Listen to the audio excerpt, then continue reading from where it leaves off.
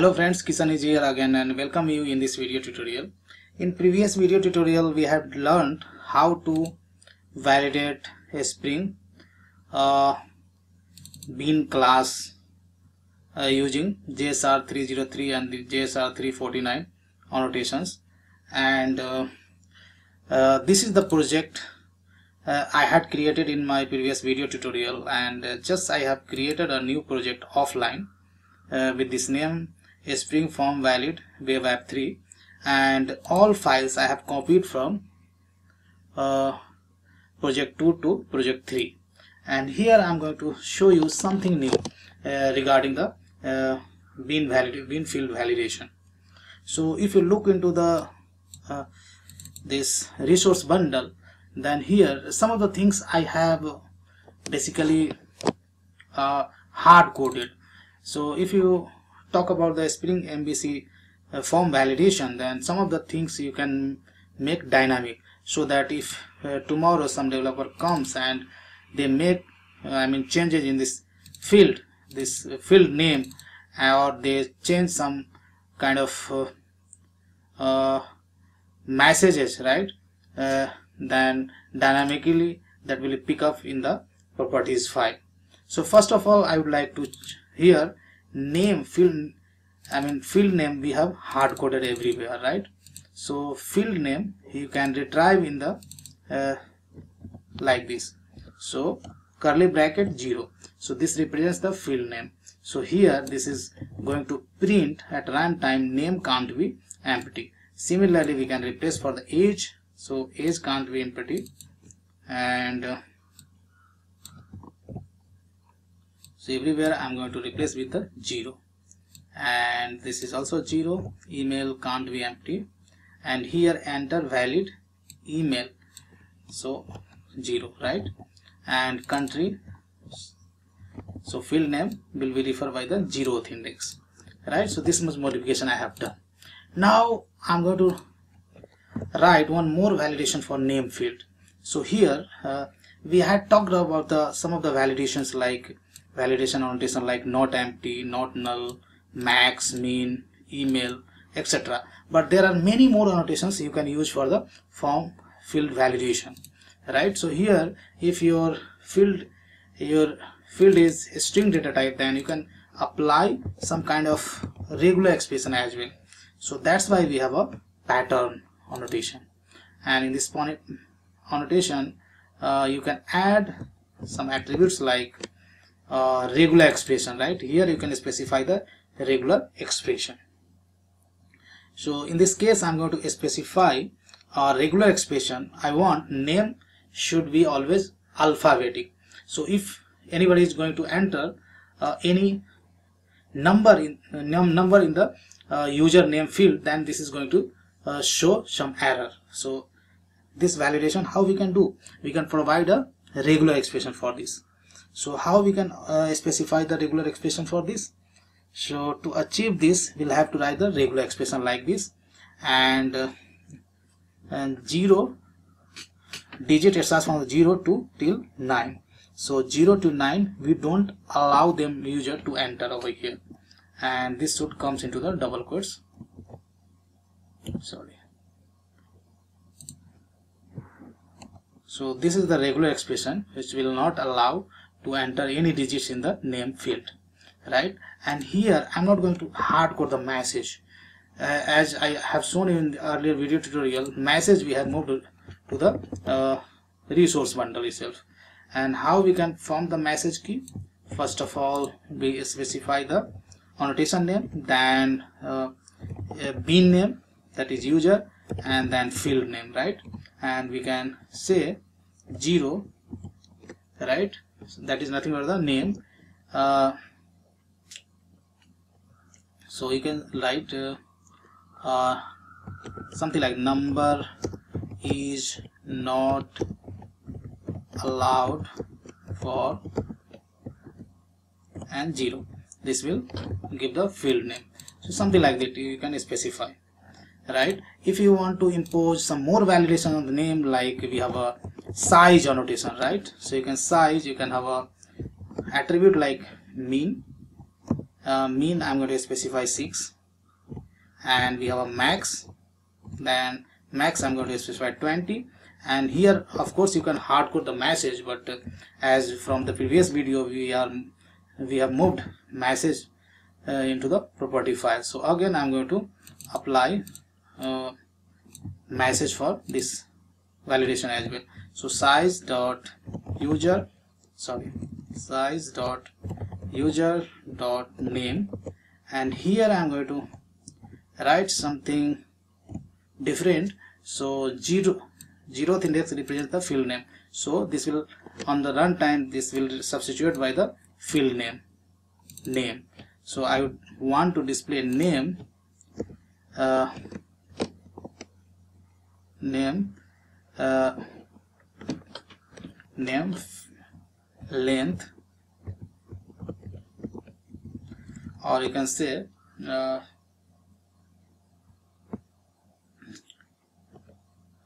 length. Uh, uh, name uh, field is between between uh, this and something like this right? So you have two uh, attributes for size right? Max and mean.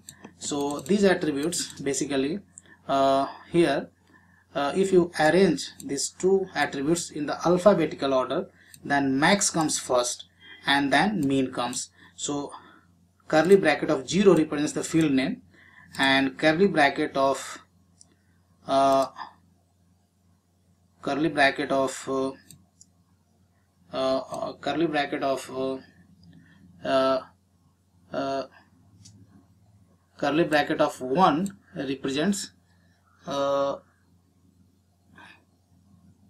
max value and curly bracket of 2 represents the mean value.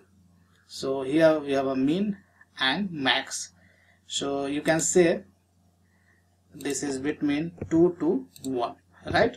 This makes sense right? 2 represents the mean value and these two parameter if you arrange as per the alphabetical order then this comes first and then this comes right? So curly bracket 2 will print the mean value and curly bracket 1 will uh, print the max value. So this way you can replace these two attributes on the runtime. Now let's run this project and see. Let's check it out. So this validation is working properly or not. So what is that? So I don't know what is the problem now we need to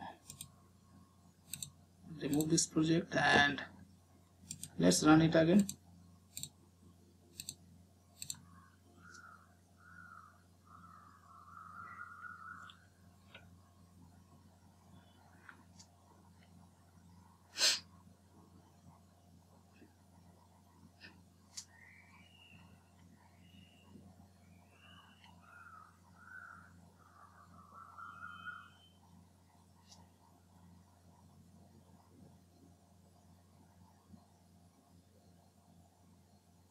now register page has displayed. Let's open in the external browser. I'm going to just open in the Chrome. And if you click on the register button then you can see uh, name can't be empty. Name field is between 6 to 20 number is allowed for name. Uh, email for email also validation is coming and for age as well. So here I'm going to apply name as Kishan 2 right?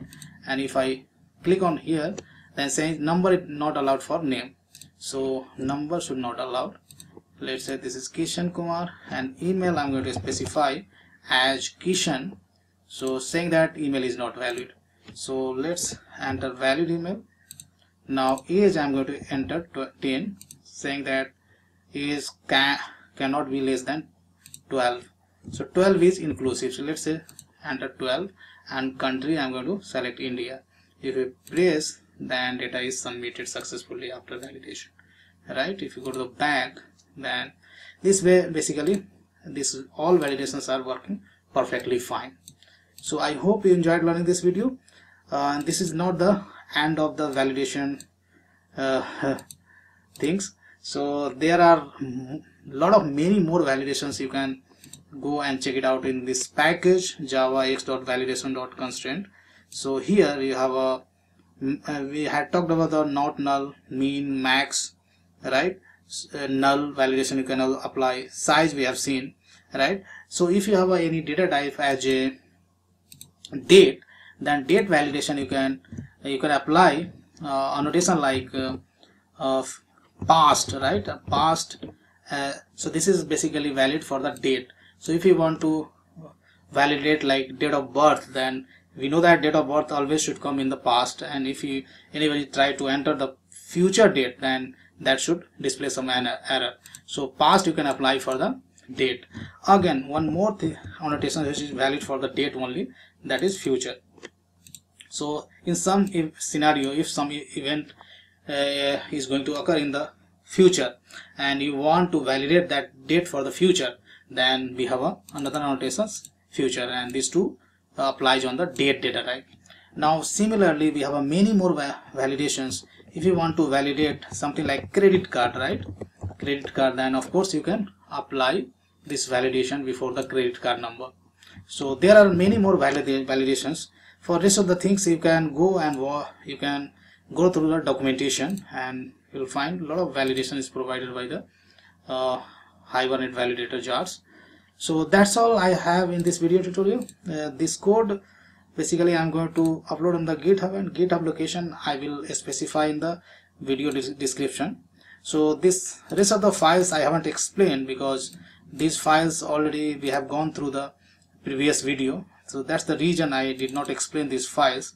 But uh, just you download this code and have a look. So this is pretty straightforward web-based application spring web-based application.